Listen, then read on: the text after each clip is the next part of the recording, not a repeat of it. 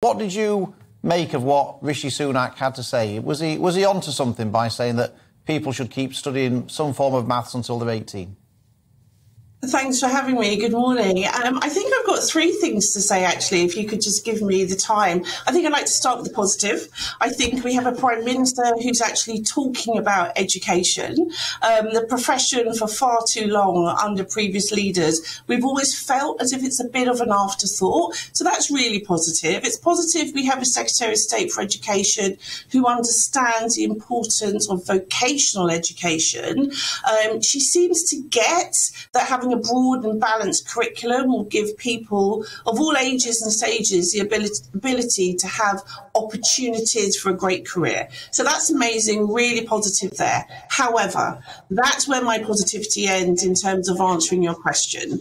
Um, because my second point is I haven't seen the evidence for it. I think it's really important that he, the government, sets out the evidence for extending maths for all students to the age of 18, because the changes will be affecting generations for life, uh, for years to come. So where's the evidence to suggest that that's the right way forward?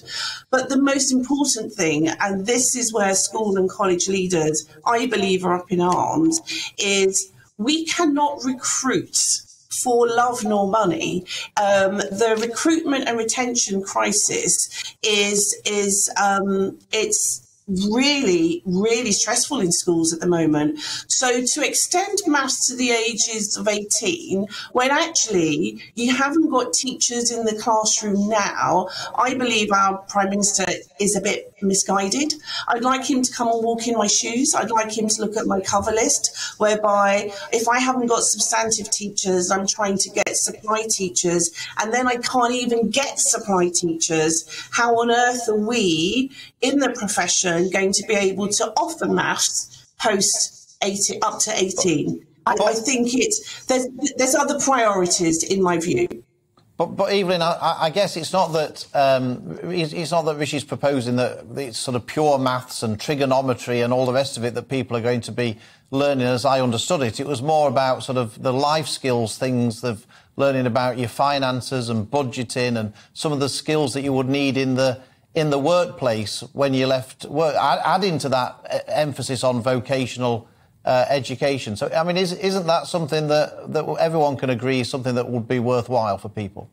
But we do that now. I mean, if you look at the maths curriculum now, we, we teach all that, you know, we teach the basics. You, you take maths at A level, you're, you're kind of advancing your, your knowledge and expertise. But the reality is, and there have been some statistics around the number of non specialist maths teachers that are already in our classrooms. There was a study done by um, the Times Education Supplement, and they noted that the government has actually missed its own trainee target for maths teachers.